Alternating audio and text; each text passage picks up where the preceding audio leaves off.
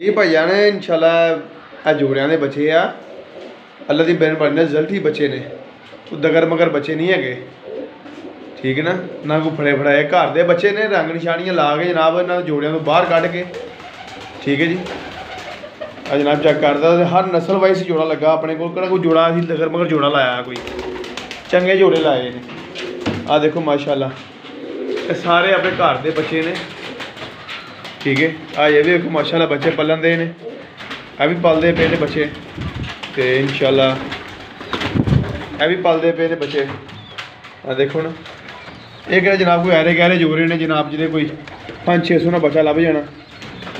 ਆ ਦੇਖੋ, ਇਹ ਬਟੇਰੇ ਜੋੜੇ ਮਾਸ਼ਾਅੱਲਾ, ਉਹਦੇ ਦੋ ਬੱਚੇ ਪਲਦੇ ਪਏ ਨੇ ਪਿੱਛੇ ਹੋਵੇ ਠੀਕ ਹੈ।